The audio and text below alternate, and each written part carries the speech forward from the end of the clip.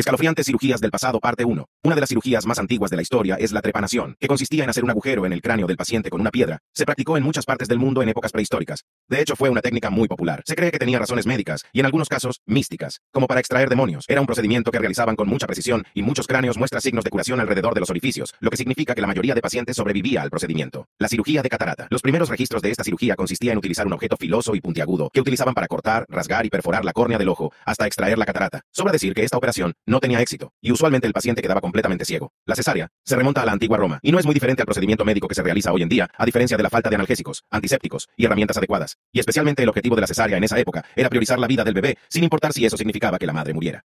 Por último, una versión un poco más refinada de la cirugía de cataratas se le conoce como el método de succión y se remonta al menos al siglo X DC. Consistía en perforar el ojo con una aguja, hueca. Esto permitía al médico utilizar la aguja como sorbete y succionar la catarata con sus pulmones.